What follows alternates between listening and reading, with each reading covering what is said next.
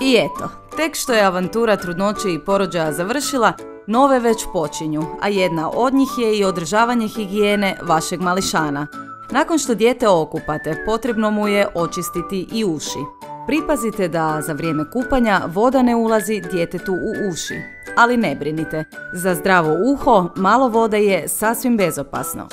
Uvijek čistite samo vidljive dijelove ušiju jer u suprotno možete začepiti, ali i ozbiljno oštetiti zvukovod ili čak bubnjić.